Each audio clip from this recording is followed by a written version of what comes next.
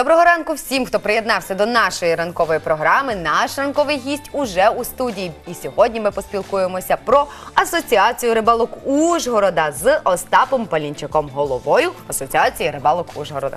Доброго, ранку. Доброго ранку. Доброго ранку. Рибалки ж прокидаються зранку, правда? Ще раніше навіть ніж ми.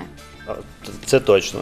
Е, В цей час уже треба вже бути на місці, Ну, в так? залежності від пори року, е, Ага. якщо це літком, то набагато швидше, тобто там 4 години вже треба бути на місці. Ага, коли тільки тільки навіть ще світанок не починається, вже Да, треба ще за- зайняти до позиції. світанку. До світанку. А взимку як?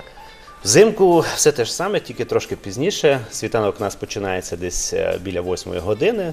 Ну, десь в 7 годин вже треба виїжджати, е, по дорозі випити кави, обговорити план дій на день і тихенько е, до світанку прийти на місце ловлі. Холодно, не холодно, дощ, не дощ, сніг, не сніг, будь-яку погоду нам треба бути на місці. Саме про це сьогодні ми е, з вами і хотіли поспілкуватися про зимову рибалку. Просто щось зима забарилася дуже цього року. Ніяк вона не хоче вже вступити в свої права. Е, якому типу рибалки більше ви віддаєте перевагу літньому чи зимньому? Чи взагалі між ними різниця тільки в порах року? Що там тепло, а там холодно? Ну, це більше від вподобання кожного рибалки окремо. Е, Я не можу визначити якийсь більш е, приємлемий для мене вид рибалки. Е, Я рибалю цілий рік в будь-яку погоду, на будь-яких водоймах. Є люди, звичайно, які на зимку впадають як медведі з Сплячку. сплячку. Так, вони мають дуже багато вільного часу взимку. Вони перекладають свої е, снасті е, всю зиму і чекають е, потепління. Ну, а є, звичайно, рибалки, які чекають навіть зими, тому що це зміна виду риболовлі, це зовсім інші снасті, зовсім інший підхід до риболовлі. Е, І ну, цікавого є будь-яку пору року.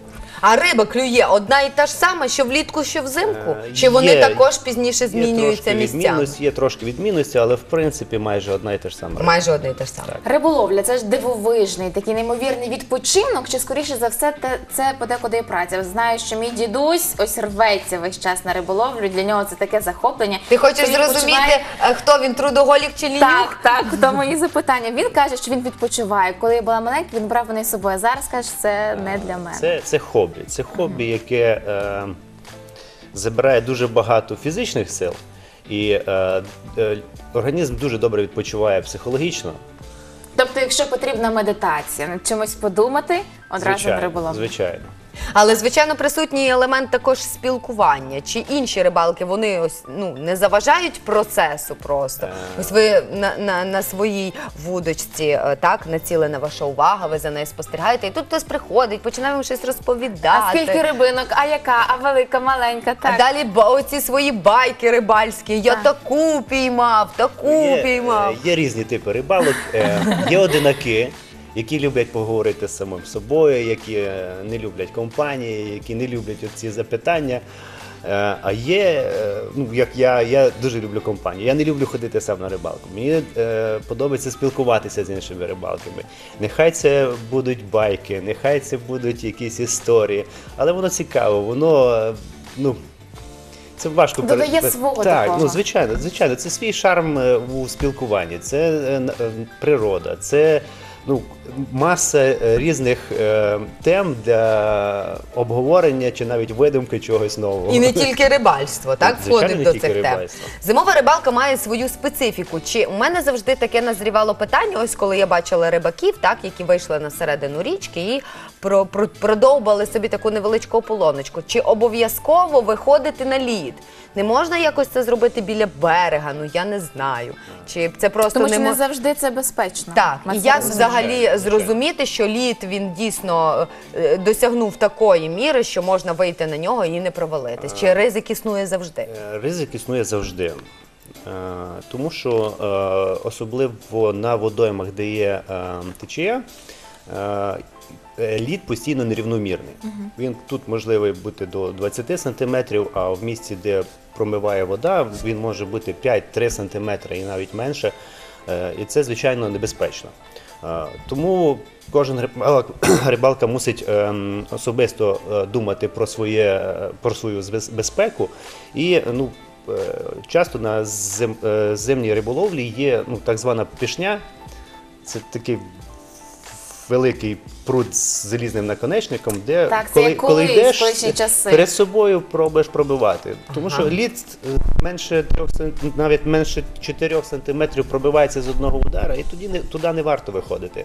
Е, Де лід міцний, е, він витримує один, навіть можливо два удара е, цієї пошні. І без проблем ну, на такому е, ледве можна пересуватися. Е, Звичайно, ну, бажано уникати таких варіантів, де є течія води. Е, Краще озера вибирати, Краще, так? краще вибирати озера, е, провіряти е, товщину леду і ну, не ризикувати. І, і ніколи не виходити на такі водойми наодинці. Ось якраз про це тільки, сказала. Тільки Що вам, як людині, яка любить компанію, так е, більше вірогідності того, що вам допоможуть. Та й не те, що більше, а 100% вірогідності. Так, а ті, хто ходять ось на самоті, можуть потрапити в халепу, і їх просто ніхто не почує. Звичайно. Ми говорили перед тим про різні історії і байки. Ви е, казали, що любите послухати десь, і, можливо, сам розказати. Чи якась така дивовижна історія, якою ви найбільше любите ділитися із своїми друзями і з своїми рибаками? Е, ну, Я більше люблю послухати. А чи є якісь такі ось ем, не знаю, якісь перестороги, так що там не знаю, Того не можна перебігла робити. кішка О- доріжку. Однозначно, ніколи не можна е, рибалці е, бажати удачі перед рибалкою. А, не Ні в можна? якому разі. А що треба казати навпаки, щоб ти жодної риби не зловив? Е, Так, ні хвоста, ні луски.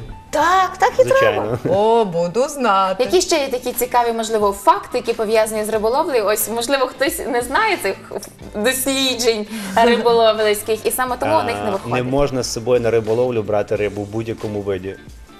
Ні, ні в Тому ні що їжа, та, яка ніяк. там в воді, вона образиться. Е, Звичайно, не знаю, чи вона ображається, чи що. Чи Вона от, відчуває. Е, як ем, у християн не вірують в Бога, так е, всі рибалки, напевно, вірують у е, Нептуна якогось, який е, дивиться за всім зверху і дивиться, кому надати вдачі в риболовлю, кому не надати. Ага, значить, якщо, заслужив, якщо ти вже сидиш і їш шпроти, так, то ти вже на рибу Так. зловити не заслужив. На сьогодні твоя доза вже закінчилася. А ось щодо жінок, все ж таки, чому дідусь мене брав, коли я була маленька, а зараз він Тому що ти була дівчинка.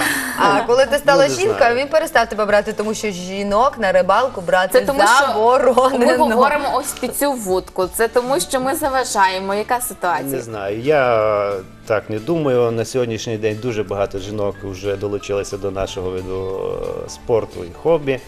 Е, Дуже часто от на змаганнях е, жінки приходять зі своїми чоловіками, і, в- них вже не можна вирвати з рук е, вудку. Вони вже разом з чоловіком поряд стають і закидують ту же вудку, і вже обговорюють на такій сімейних вечорницях, що пора би вже і мені купити якусь водку і так далі. Це круто. Ну, дуже ну, цікаво, тому що в нас от буквально кілька тижнів назад були е, змагання, і е, жінки е, ходили там кругами і були дуже Підтримують е, своїх чоловіків. Так, і підтримують, і вони зацікавилися самі цим, виборюють. зацікавилися цим видом спорту. Ось це може стати навіть таким ось с- сімейний підряд такий можна влаштувати. Ну, бажаємо вам успіхів е, на рибалці. Будьте, будь ласка, обережні під час зимової рибалки, тому що ми хочемо, щоб ви ще до нас завітали в нашу ранкову Обов'язково. студію і розповіли про її наслідки. Ну, верніше про ваші заслуги, Так, кого, але- кого вдалося спіймати. Ви обов'язково ну бажаємо успіху, але не удачі, тому що перед риболовлею знаємо, цього бажати не потрібно. Ані луски, ні хвоста, як ви зазначали, але все ж таки, що найприємніше для рибака? Що йому найприємніше в подарунок? Ось зараз мені здається, нас дивляться дружини рибаків або ж самі жінки, які хочуть. Ну, напевно, щось з екіпіровки. Так, що подарувати таке, щоб можна було і сподобалося людині, і можна було Я використати знаю, її що гроші. Він сам собі купить те, що йому потрібно. Е, ну, десь можливо і так, але от на зиму дуже актуальна екіпіровка. Це ну, досить е, ну, якісна екіпіровка, буде досить дорога. Е, і якщо в когось є з жінок можливість е, своєму чоловікові подарувати хорошу екіпіровку, зимню, е, такі, зим, такі собі зимові костюми чи зимова обув, е, яка витримує і морози, і воду, Це не дуже, було це таким дуже, це жінкам. дуже доцільно зараз. Ну і звичайно, е, ну, кожен рибалка має м, ну, у с- свій е, асортимент е, м, принад, який він використовує для риболовлі. І ну, з певних ну, в сім'ї там жінка приблизно знає, чим він цікавиться, якщо вона цікавиться взагалі чоловіком. Так. Або в компанії, де друзі десь приблизно знають, чим е, Захоплюються, людина, що чим потрібно, рибалка так, так. захоплюється і що йому потрібно. А Насправді людині, е, в якої є хобі, е, зробити подарунок набагато легше. Так. Тому що ти вже знаєш, яке в людини є захоплення, і навіть якщо ти не розбираєшся у всіх цих таких кольорових прикольних рибках і всяких дзвіночках, ну мені теж, до речі, все дуже подобається, бо воно таке яскраве, маленьке, його так багато, як прикраси можна з цього зробити. Можна просто розпочати тему з цією людиною про хобі. Людина сама все розкаже, і так можна вже просто ми говоримо скоро свята, і до цих свят обов'язково потрібні подарунки. Ми говорили, що це і спорт, і змагання, риболовля. А ось коли ви стоїте, ваш друг, там ще один ваш товариш, це для вас теж змагання кожного разу. Існує момент риболовля? конкуренції. Так, чи існує це? Ось в мене вже дві, а в тебе ще одна, в мене більше За межами змагань е, немає такого конкуренції. Ну, є радість за друга чи за себе, ну, але це трошки не то. Там більше грає спілкування і компанія.